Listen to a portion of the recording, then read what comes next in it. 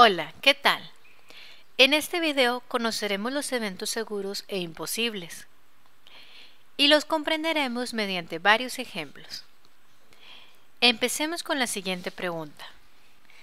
¿Crees que sea posible que lluevan perros y gatos en lugar de agua? El hecho de que llueva agua es debido a un fenómeno de nuestra naturaleza, en el cual el agua de los mares se evapora y se condensa en gases, hasta formar lo que conocemos como nubes. Después, esta agua cae a la tierra. Y por esta razón, en una lluvia cae agua y no perros y gatos. Espero que mediante este ejemplo podamos comprender cuando un evento es seguro e imposible.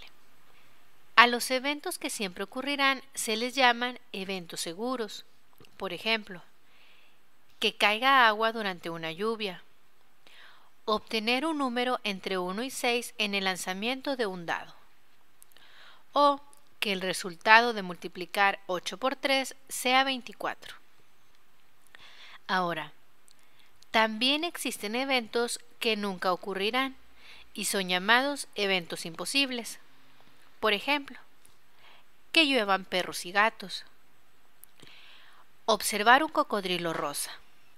Bueno, que no sea de caricatura ni de peluche. Tener una bolsa con cuatro bolas, dos rojas, una azul y una negra.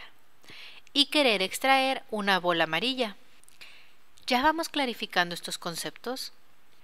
Ahora identifiquemos entre los dos siguientes eventos cuál de ellos es seguro y cuál imposible.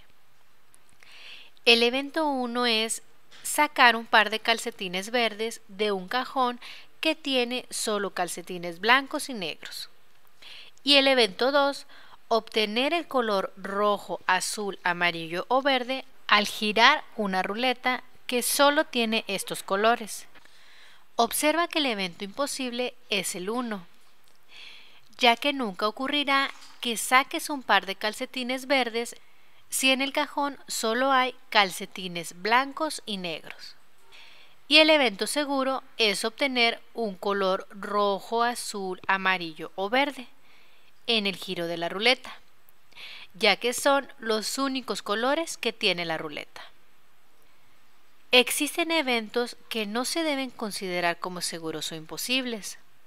Por ejemplo, al tirar un dado, el evento obtener un número 2 no es imposible, ya que este número se encuentra en el dado.